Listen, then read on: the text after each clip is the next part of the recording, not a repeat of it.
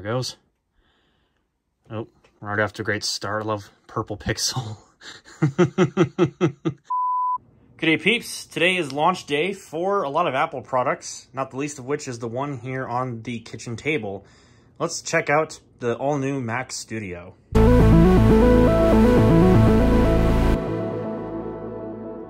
Okay, this is going to be in freehand camera style. I don't have a tripod for my phone, so we're just going to have to wing this the best that we can. So I apologize if the video gets a little messy.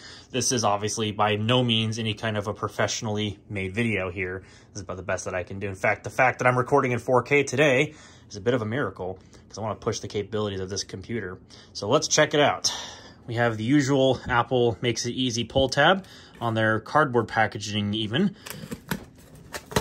So I'm just gonna yeet this box open. And already I can see the little nylon handle. Oh my gosh. That's actually a bigger box than I was expecting. I'm not joking. That's pretty beefy. Wow. That's a big box. Let's get it out. It's a fairly firm handle the old cardboard off the table here, whatever. So there it be, the retail packaging for the Mac Studio. I gotta say, this is quite the unit. Now, for those wondering about the particular specs of my unit, I'm not sure where they list them. Oh, they, they're down here on the bottom of the box, okay. I didn't go too crazy. I just went and got myself the base model because that's really all I need. So it's got 32 gigs of unified memory, half a terabyte of SSD, which I can always expand later. And it's got the M1 Max chip with the 24-core GPU. So absolutely by no means anything fancy. You could probably get a MacBook Pro with this chip, no problem. But I decided that I would like a chip like that in desktop form. I do plan to keep an M1 MacBook around for portability's sake, but this will really fit the bill a lot nicer than my Mac Mini did. Not to say that the Mac Mini was a slouch, but I just needed more than 8 gigs of RAM, if you know what I mean. So let's not put it off any longer. Get another green Poltero, uh, Poltero, Pol-Aero rather. I'm doing a really good job of doing this with one hand. Somehow. Okay. Now, if I'm not mistaken, you have to like put the box down like this, and then it should just open right up. As long as the handle's not in the way, obviously. So I'm struggling with one hand. Designed by Apple in California up there on the top. This is all recycled packaging if I'm not mistaken. So this apparently just comes out like this and kind of just like isolates the computer. That's just crazy. Like that thing. Wow. That thing is tiny. Well, I mean, it's big. Definitely bigger than a Mac Mini. It's also, ow, trapped in my finger underneath. Then here is the power cable sitting underneath. From what I saw, like this is all isolated and it's like shock absorbing, which is just crazy packaging. You do get your braided power cable, nice black nylon like material, and it's got like the Mickey Mouse style power connector on it. As far as up above, I'm not sure there's too much in the way of stuff, but try to check it out the best that I can. I mean, obviously it's just going to be the usual. So I got Mac Studio, which is just like your little quick start guide to show you the ports and a little glyph of the Apple Studio display, which of course I didn't purchase because I'm not going to use one. Regulatory crap, and then we have a black Apple sticker. Fairly large one too, actually, if you don't mind my opinion. And that is everything that is inside this little package. And no, I didn't order a polishing cloth because that's, I don't know. I was going to do it for the lulz, but I decided not to because that just seems silly for a, an order like this. So now that just leaves us with the Mac Studio computer itself. What a big boy. Let me see if I can prop up my uh, phone camera here and we'll get it out of the paper. I didn't even see this thing on the back of it. It says, important, use requires acceptance of the software license terms, blah, blah, blah, blah, blah which we already knew that because, I mean, they plather that on everything these days. So I think, yeah, it looks like this is just a pull-up tab from the front. So let me get that into the frame here for all it's worth. Or not. Okay, let's try that again. That's cool how it like all unfurls like that.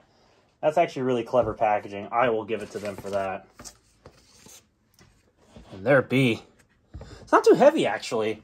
And uh, definitely the size of it, like you have to look at it in person to kind of get a perspective of it. Now this overall, like the width and everything is basically the same size as the Mac Mini. It's just like two and a half times taller for those who don't have, have an idea as to how big this uh, machine is as far as the dimensions go. Do have a power light on the front.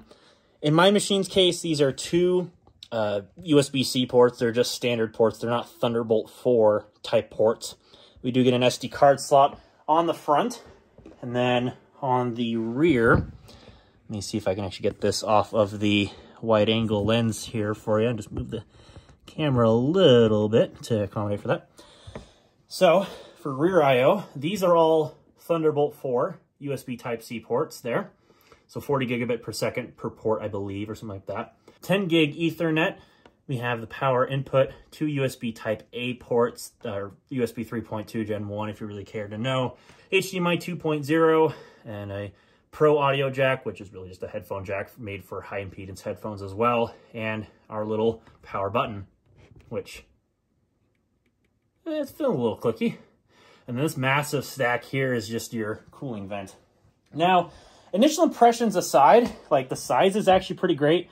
The one thing that I have complaints about, and the same thing goes for the Mac Mini as well, there's not really much isolation or shock absorption when you place it on a surface. So for example, let's just say I have it here on the table, just like the Mac Mini, I can kind of just like rotate it around.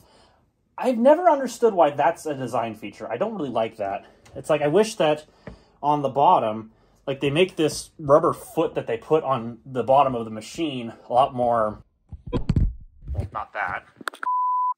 But it's like I wish that they would just make it to where you can't just easily twist it because uh, it tends to happen a lot and it kind of bugs me. Anyways, so I'm going to go make some space for it on my desk and try to get a setup going. I've got to also set up a set of speakers since I've got some new speakers to hook up.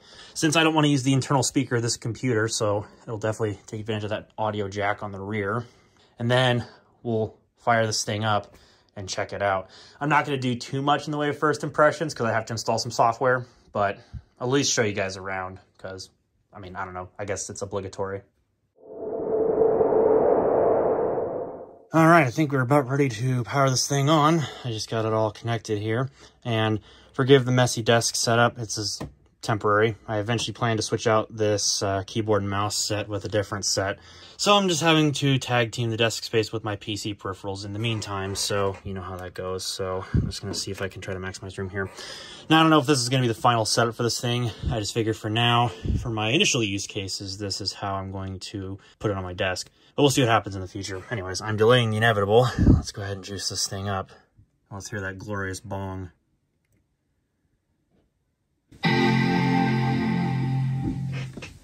Just like that. Now, I hope my monitor works. I set this to HDMI. We'll see what happens here. There it goes. Oh, right after a great start. Love purple pixel.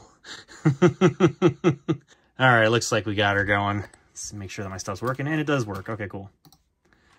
So I want to select English, and I'll just pretty much go through this out-of-box experience because it's going to be the most boring part. And then I will pick back up when we're at the desktop. That's interesting that these don't come preloaded with macOS Monterey 12.3. That is very fascinating. I'm going to update this later. I just want to get this to the desktop. I just thought I'd point that out. I thought that was interesting. All right, there we are at the desktop. So let's do the obligatory go to About This Mac. And as you can see here, the old Mac Studio with the M1 Max and 32 gigs of memory. Holy crap. Apparently these ship on macOS 12.2, so this must be old stock or something like that. That's actually quite fascinating. Uh, so I guess that's something to keep in mind. These ship on 12.2. So if anybody from EveryMac or whoever else in the future is watching, I guess there you go. so, all right. Uh, without further ado, I'm going to go ahead. I'm going to run this software update and just get that out of the way. And then I'm going to preload some apps, and then uh, from there I will form my opinion because obviously I got to get things going before I can actually, you know, use the machine in the first place and whatnot. So we'll just have to go from there. Holy bonkers, that's a big update. Good thing my internet's section not that slow. Well, it used to be, because if it was my old internet, then we'd be here literally the rest of the evening downloading this, and I couldn't do anything else on the internet while I was doing that because it'd be so slow. So, yeah, thankfully I got fiber. All right, I have the video edited up to this point, so I thought I would cut in and give a sort of a first impressions sort of thing before I wrap this video up like I said I was going to do.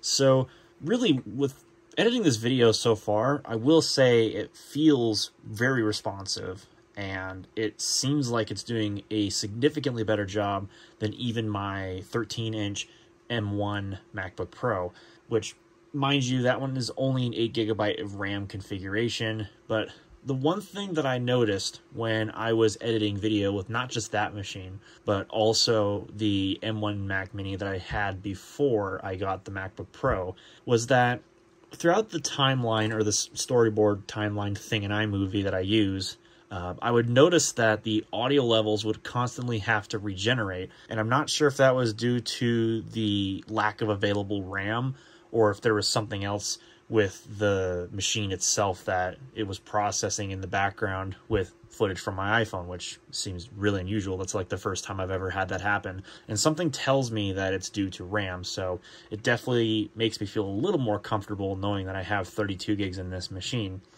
And I think if we were to even go open activity monitor, I saw that the RAM usage was well into the 13 gigs territory because, of course, it's unified memory, which makes perfect sense. So I think I'm doing pretty well, considering that I was already doing pretty well with an 8 gig of memory machine, and I think that was barely touching into the swap. Like, I mean, barely. Like, we're talking about double digits of megabytes, not even really touching triple digits anywhere close.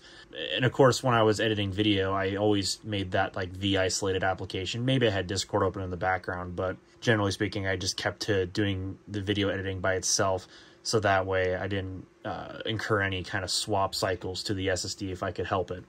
So that probably helped out with a little bit of the performance, but it would eventually just start slowing down a little bit when I was really getting into a project. So I don't know if it's just something to do with the fact I had 8 gigs of RAM, most likely, but it could also be something to do with iMovie not being the most well-optimized program, if you want my honest two cents, but, I mean, we can discuss that later. But as far as other usages, like web browsing is perfectly fine, although the M1 does that normally fine anyway, and uh, doing things with GarageBand, it felt snappy, although the M1 felt snappy as well, but I believe this can do quite a bit more with the software-defined instruments and such. So I'll have to experiment with that, considering that I've put some music together with my MacBook Pro to put up on websites like SoundCloud and Audius, and I've had no issues with the M1 just by itself with 8 gigs of RAM. So I feel like this machine's just going to be a breeze. No really, no real big issues there, obviously, uh, other than the software. And I may in the future do some more experimentation. I'm debating on potentially trying out DaVinci Resolve for editing. We'll have to see how that goes. But for the moment, I'm just going to stick with using iMovie because it's what I have installed. It actually came preloaded with the machine, obviously.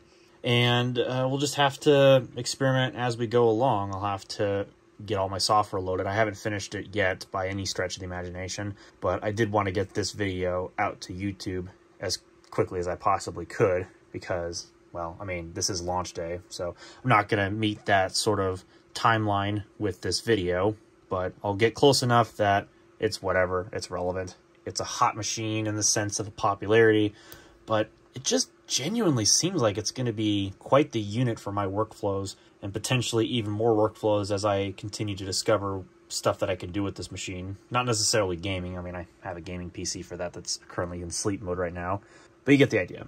So with that having been said, um, until a future video where I can discuss some more thoughts and opinions on this machine, as well as probably some other things with Apple Silicon as a whole, then I will do that then. But I'll go ahead and finish this video off for now, since, well, I'm just going to keep on rambling if that's the case. So hopefully you like what you saw.